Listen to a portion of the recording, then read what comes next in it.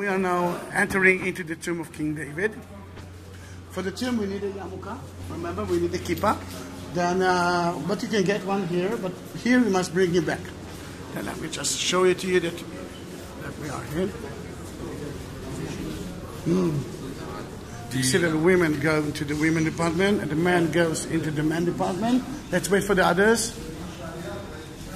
Where are the rest?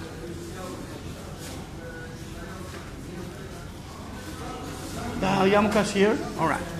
And let's go, it's air conditioned.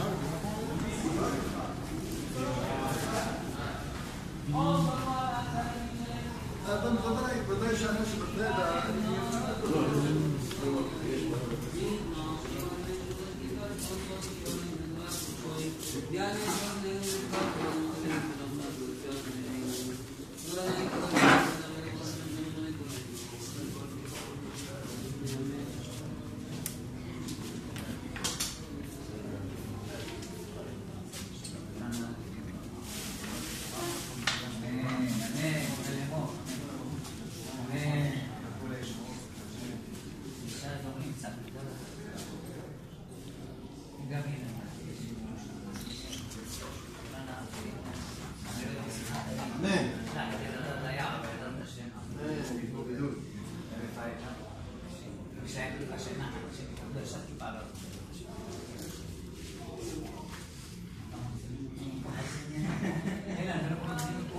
waiting. You ready? Let's go.